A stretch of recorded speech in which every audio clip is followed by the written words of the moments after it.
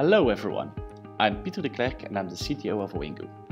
In this video I will give a walkthrough of the new features in Awingu 3.2, but first of all some history. Last year we released version 3.0 which was a huge step forward regarding the overall user experience. Next to that we introduced multi-domain support for even better integration. In May this year we released version 3.1 which allows Awingu to be deployed and administered in a multi-tenant setup. And as of this release, we also support smart card redirection. Today, I'm proud to announce Awingu 3.2. This release has much better support for single sign-on towards SaaS services. Not only have we extended our built-in connectors with popular services, but have we integrated with Microsoft Azure Active Directory and Okta to support over more than 4000 SaaS services. At the same time, we have created another Azure Marketplace solution, which we call Awingu All-in-One solution. This allows a full deployment end-to-end -end in less than one hour. Lastly, we have further simplified our installer, making it less error-prone and 50% quicker. Let's take a look at the extended SaaS single sign-on. We have the built-in connectors to the popular SaaS services. These come out of the box and without any extra license needed. Next to that, we are really proud to announce that we have full integration with Windows Azure Active Directory and Okta. These services provide us with an integration of more than 4,000 SaaS services. So let me give you a small overview on how this is configured and how it works within Awingu. Here I have a environment which is configured as the Spider-Man environment and I will log on as an administrator, allowing me to show you the system management console where all the configuration is done. Let me start the console. Okay. You can see that there are multiple domains configured on this environment and the reason I'm showing you this is because these SaaS services can be configured on a domain level and on a user level. So if I have a look at the user connector, it's loading. You can see here a, a list of SaaS, SaaS services which come out of the box. So you can see the Office 365 and the Google Apps and many more. On top we have the identity provider category, which you should configure towards your Awingu environment with your own certificate and private keys. This is very well documented how this should be configured. So on this domain we can see that there is a single sign-on configured only for the Google Apps. So this means that if I go to the applications I can see that the admin has created a single sign-on category and you see all various Google Apps applications right here. So I can just click them and have the single sign-on towards this service. Let me now log on to the same environment but as the Superman domain and I will log on as my alter ego Sam Lovely.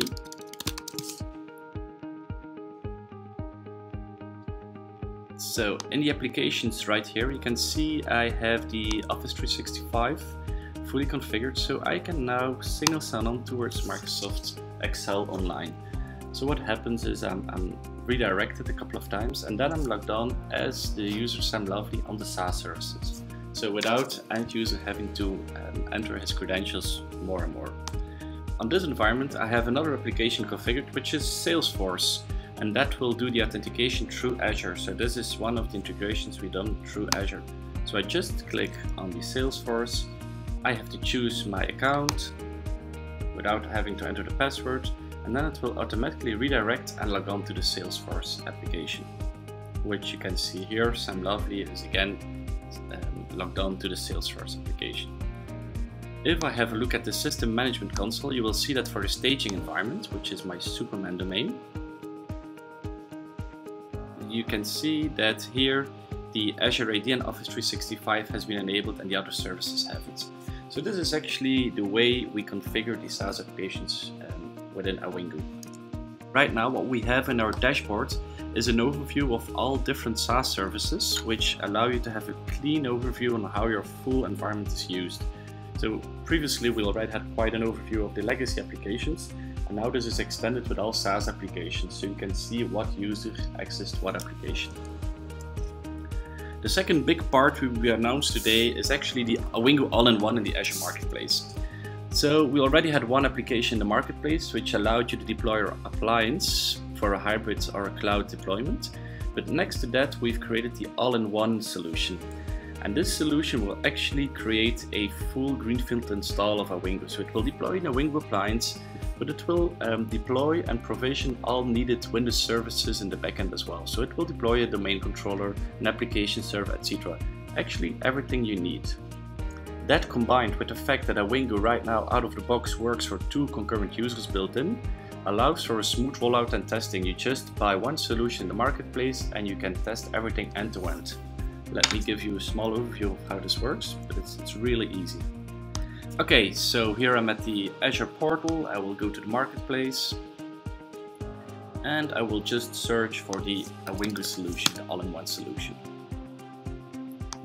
Let me click this one There's some explanation on what the solution does, but we will create it.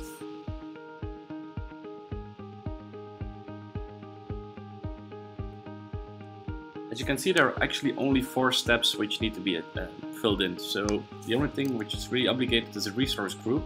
That's the group on Azure where all the uh, virtual machines will be provisioned. So I will call this resource group my demo and I will host it in Western Europe since that's the closest to our location If that part is done. Now I need to fill in an admin username. This is the username which is used to log on to the Awingu environment prior to configuring an Active Directory. So that's the built-in admin. So I will just call this one admin. I will set a password, a strong password, there is validation.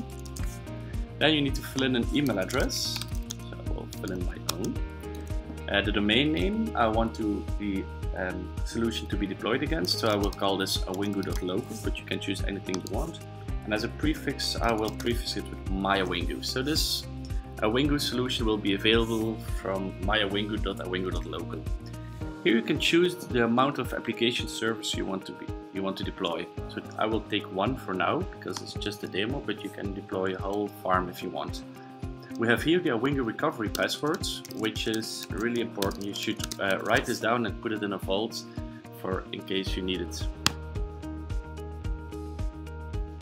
Okay, so now it's doing some validations and then you will get the OK button where you can actually buy the solution and that's all there is to do. So once you deploy OK, you will have a fully functional Greenfield installation where you can already start your um, tests on or start your solution on. So this was actually the part of the all-in-one uh, deployment. Next to that, I can really quickly show you the installer, which became really easy and fast. So you have the EULA, which you need to um, read um, carefully and then accept it. You fill in the username. This actually corresponds to the same username we uh, had to enter in the all-in-one deployment. So I just call it admin again with a strong password. You press next never save it. You should uh, here add one valid DNS server, which is typically the domain controller. So in our case, I will press this one.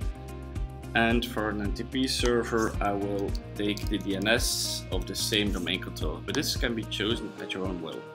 The repo server URL is pre-filled in, and you have the option to enable the HTTP proxy. This is in case your setup needs a forward HTTP proxy to access our repo server.